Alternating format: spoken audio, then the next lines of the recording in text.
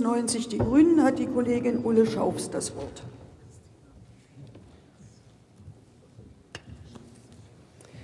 Sehr geehrte Frau Präsidentin, sehr geehrte Kolleginnen und Kollegen, liebe Gäste! Zuallererst möchte ich das Anliegen der UNESCO, das Natur- und Kulturerbe der Welt zu bewahren und damit auch dem Frieden zu dienen, ausdrücklich würdigen. Dieses Anliegen ist gerade in Zeiten, in denen in Krisengebieten wie im Irak oder in Syrien durch den sogenannten IS und den Bürgerkrieg Weltkulturerbestätten zerstört werden, wichtiger denn je. Erst in den letzten Tagen haben wir miterleben müssen, wie das Weltkulturerbe, die historische Altstadt von Sanaa im Jemen, bei einem Luftangriff der arabischen Koalition teilweise zerstört wurde. Die UNESCO-Generaldirektorin Irina Bokova hat den Luftangriff auf eines der ältesten Juweliere der islamischen Kultur zu Recht scharf kritisiert. Liebe Kolleginnen und Kollegen, diese schockierenden Beispiele zeigen uns eindrücklich, dass die Zerstörung von Kulturerbe oft mit Gewalt gegen Menschenleben einhergeht. In erster Linie steht für uns natürlich der Schutz von Menschenleben im Vordergrund. Trotzdem ist auch der Schutz der Weltkulturstätten eine enorme Herausforderung. Denn die Zerstörungen treffen die jeweiligen Identitäten und Gedächtnisse für nachkommende Generationen, die es weltweit zu schützen gilt.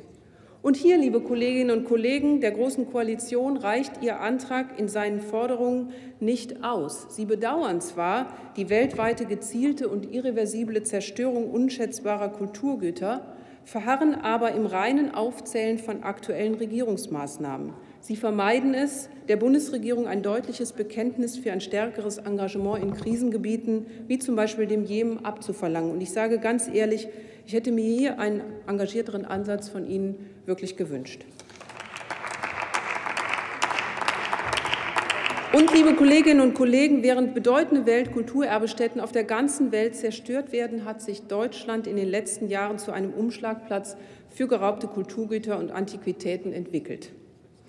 Hier will Staatsministerin Grütters mit ihrer angekündigten Novellierung des Kulturgüterschutzgesetzes nun endlich nachjustieren, und ich sage, das ist gut so.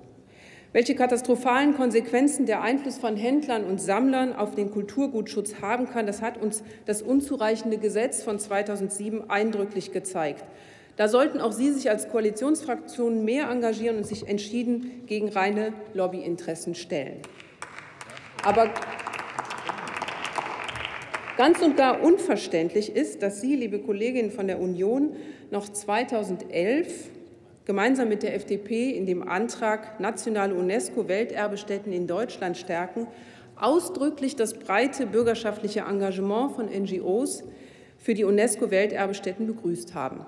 Das kommt jetzt leider in dem Antrag nicht mehr vor. Und das ist umso bedauerlicher, weil genau diese Aktivitäten der NGOs, zum Beispiel bei der Tagung des UNESCO-Welterbekomitees Ende Juni in Bonn, von der Bundesregierung nicht unterstützt werden. Staatsministerin Böhmer hat hier ihre finanzielle Unterstützung für zum Beispiel Zeitevents abgelehnt. Und hierzu vermisse ich in ihrem Antrag ganz konkrete Forderungen. Sie beharren da scheinbar lieber in Allgemeinplätzen, und das ist leider zu wenig.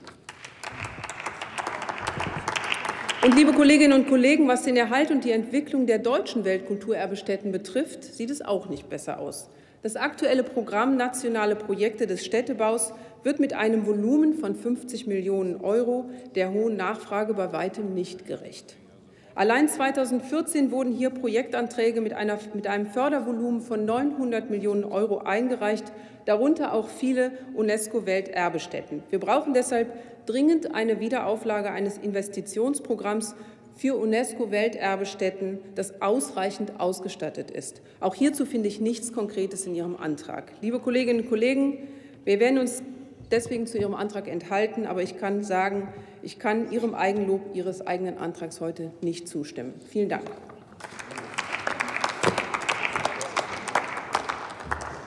Für die CDU-CSU-Fraktion hat der Kollege Ulrich Petzold das